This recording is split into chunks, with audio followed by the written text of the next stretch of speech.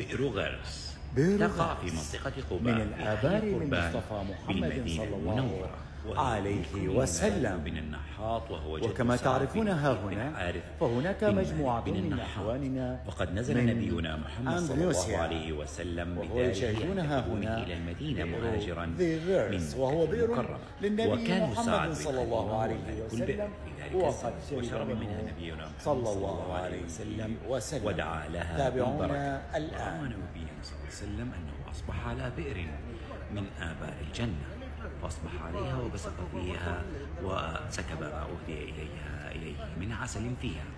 ووصى كرم الله وجهه علي بن أبي طالب بأن يغسله بسبع قرب منها حين وفاته.